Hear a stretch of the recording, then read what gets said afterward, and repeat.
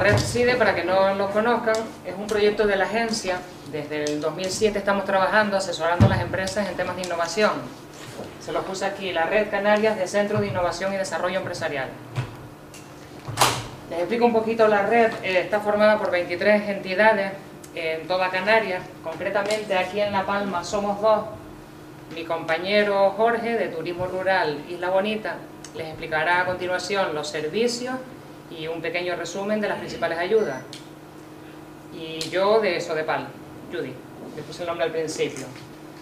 Un poco aquí les pongo pues lo que hacemos, eso, que somos las 23 entidades, el canal de difusión, puerta de entrada, pues las ayudas, les comento. Jorge se los explica en detalle. Les puse el esquema simplemente para que se hagan una idea de cómo estamos repartidos. Ven que en La Palma pues estamos los dos, Sodepal y Turismo Rural. Ven en el resto de las islas. Todo el proyecto está coordinado por el ITC, el Instituto Tecnológico de Canarias.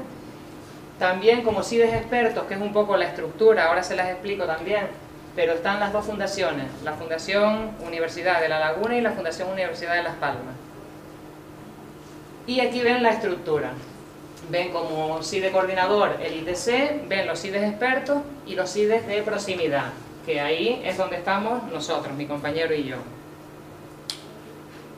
Mm, aquí pues lo que hacemos también, como comentaba Yolanda, pues también hacemos jornadas, atendemos, consultas, sobre todo hacemos hincapié en que vamos a las empresas nosotros, hacemos un asesoramiento personalizado, eh, estudiamos las ideas o las posibles ideas de proyecto y les ayudamos a avanzar en ellas simplemente.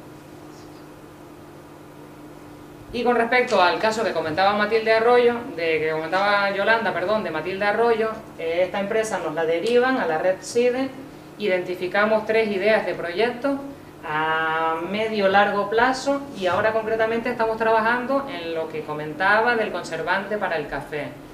Pues ahora mismo lo hemos puesto en contacto con dos grupos de investigación, uno de la Fundación Universidad de La Laguna a través de ellos y otro a través de la Fundación Universidad de Las Palmas. Y estamos a espera de que la empresa llegue a posibles acuerdos con esos grupos de investigación. Y por supuesto que seguimos asesorándoles en esos pequeños proyectos que tienen, pues como me comenta el empresario, a largo plazo ahora mismo. Simplemente eso. Decirles que sigue Jorge explicándole los servicios específicos de la red.